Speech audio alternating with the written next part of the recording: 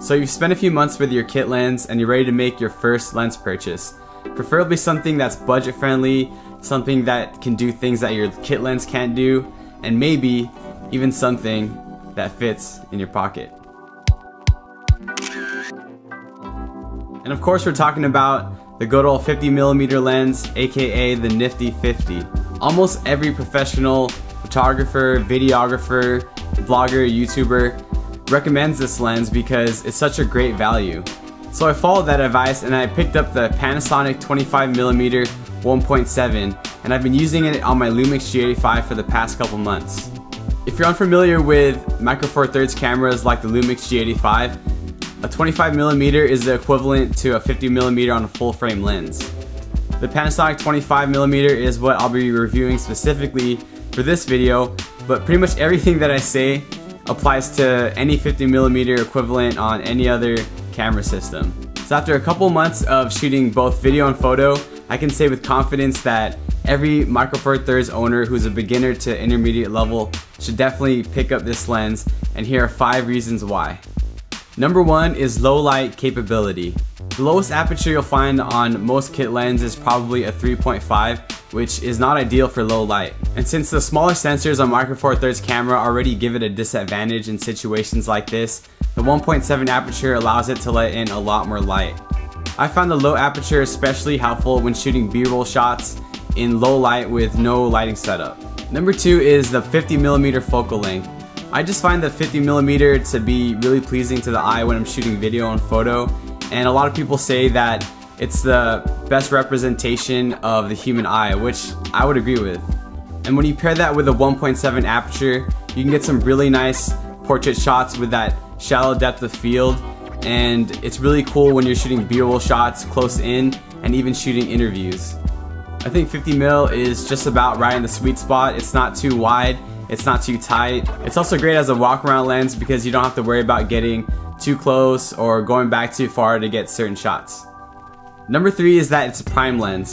A prime lens means that it has a fixed focal length and they're generally sharper than your zoom lenses. When I compare my 25mm to my 12 to 60mm kit lens, it's slightly sharper for video and it's noticeably sharper when shooting stills. I love the 12 to 60 for video, but honestly I didn't start taking more photos and sharing those photos until I got the 25 millimeter. I'm definitely still a novice at taking photos, but having the 25 millimeter in my bag has given me tons of confidence and it's really upped my Instagram game. Shameless plug right here. Follow me on Instagram, guys.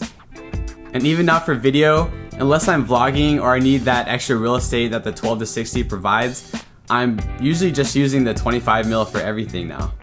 Number four is the size. One of the things I love about the Lumix G85 is its size and portability, which makes it easy to bring around anywhere I go. This lens weighs about only a quarter of a pound and it's only 3.5 inches in length with the lens hood on and less than 3 without. Getting such great photo and video out of a small lightweight camera lens combo like this one is a big reason why I love the Micro Four Thirds system.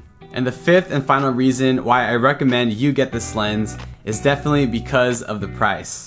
At just $147 new, that's right guys, just $147. All the great qualities that I just mentioned are made even sweeter when you think about how inexpensive this lens is.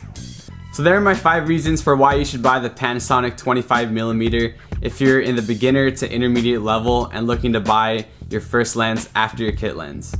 And again, all the reasons that I gave to buy this 25mm lens apply to any 50mm equivalent on any other camera system, including the size and the low price. Links to this lens and all the gear that I use are in the description below if you guys would like to check it out. Please like this video if you found value in it and consider subscribing if you haven't already. I'm going to be sharing more videos like this, sharing the knowledge that I gain on my journey to becoming a professional filmmaker and photographer. Thanks for watching guys, and I will see you on the next one. Peace. Number three.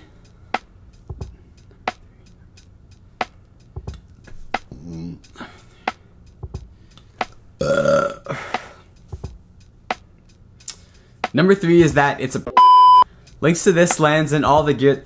Oh, dang it. Please like this video if you found value in it and and